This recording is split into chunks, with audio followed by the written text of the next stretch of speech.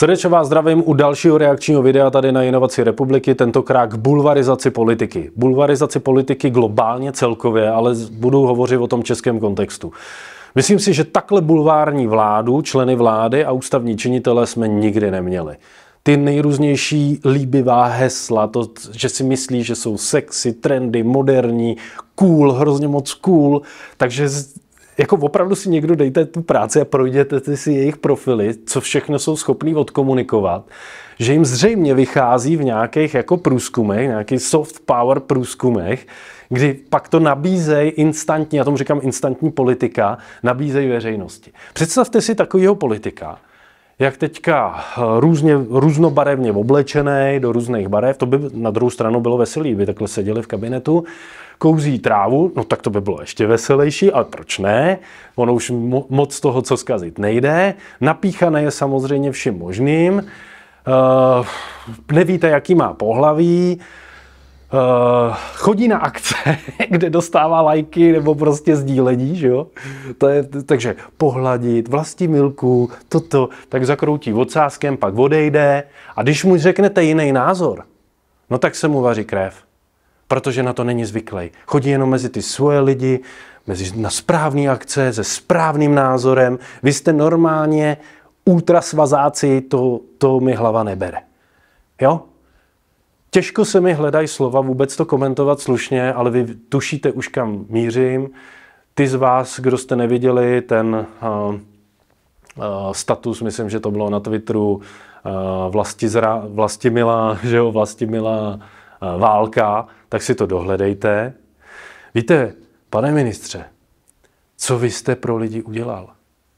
Lžete. Už víme a máme důkazy, že jste dezinformátor.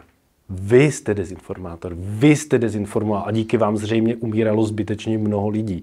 Ano, nebyl jste v tom sám, byli v tom další odborníci. Vy jste byl kdo loni v létě po, hazarduje se zdravím našich dětí. Vy věci maskujete, vy se chováte ještě hůř než vláda předchozí, bohužel. Vy jste ty, kdo pomáhá preferencím Andreju Babišovi. Čí je to výsledek těch průzkumů? No to i ty vaší činnosti, vaší neschopnosti a toho, že ty věci utahujete proti jiným názorům, že se nechcete o věcech vůbec ani bavit, ani diskutovat. No to je temnota. No a na druhé straně vysmátej pan Dušek, prosím vás, až budou dávat někdy pelíšky, pupendo a tyhle věci, tak to přepněte, abyste na něj vůbec nemusel koukat. Ale pan Dušek tady dělá velkou osvětu. Dává lidem leta, témata k zamyšlení. Témata, které jsou záměrně mimo prout, v tom je přeci ta podstata toho, aby si každý vybral, hledal souvislosti a zapnul kritické myšlení. A jestli něco pan Dušek udělal, tak je to jedna velká dušeká a přispívá k jakýsi duševní hygieně národa. Něco dává. Vy jenom berete. Jenom berete. Strach, temnota, bída a hrůza. A na druhé straně úsměv, láska, víc vlastně přesně ta naše standarda. To by byl prezident. Vás si vůbec ne, vás nechápu, jak jste se tam odstnul v té funkci. Oh, pane Válku, a já to řeknu. Vy jste normálně na kriminál. Na kriminál. Asi vám napíšu nějaký status. To, co říkám, není legrace, myslím to smrtelně vážně. Jste na zavření.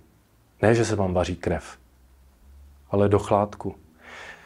Tohle, co předvádíte, nejenom vy, ale vaše kolegové, přispívá k obrovskému rozdělování národa lidi, kteří se vám snaží pomáhat, dávat, vlastně být podanou rukou, dávají vám data, informace, pohrdáte, utahujete ty věci.